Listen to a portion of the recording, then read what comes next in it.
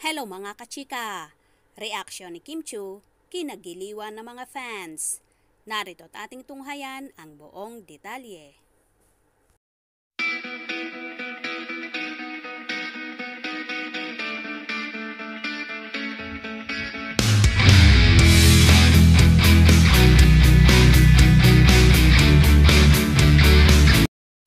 Katuwa ang reaksyon ng It's Showtime host na si Kim Chu who obviously watched the 2021 Miss Universe pageant.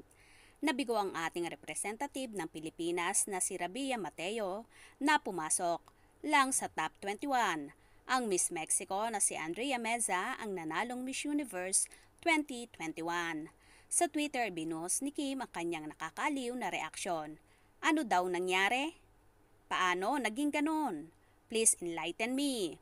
Hindi Brazil, not Peru, not India, no Thailand, no South Africa.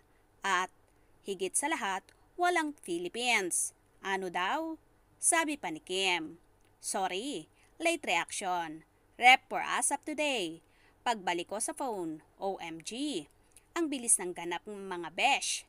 Face screaming is fear, but still proud of Miss Philippines, Rabia nung nag-win ang Mexico and nakita ko, judge and yung host, ang flow ng event Latien. Parang, yeah, ha ha ha ha, charot lang. Emi lang, katuwaan lang mga beshi, para gumaan ang loob natin. Hihihihi, ang aga nating nagising, palakpakan. But no matter what happened today, we love you Miss Philippines. Congratulations Rabia. Congrats also to Miss Mexico dagdag pang pahayag ng actress and TV host. Aliw na aliw ang fans sa reaksyon na yon ni Kim Chu.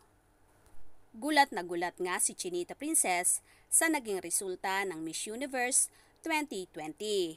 Pero ayon sa dalaga, hindi man naiuwi ni Rabia Mateo ang corona pero proud na proud pa rin siya sa ating kandidata at kinongratulate pa ni Kimi. Mga kachika, anong masasabi nyo dito? Kung kayo ay di pa nakapag-subscribe sa channel ko, maaaring mag-subscribe and hit my notification bell para maging updated kayo sa next chika ko. Salamat sa patuloy na pagsubaybay. Hanggang sa muli, ito ang inyong Showbiz Chikadora. Paalam!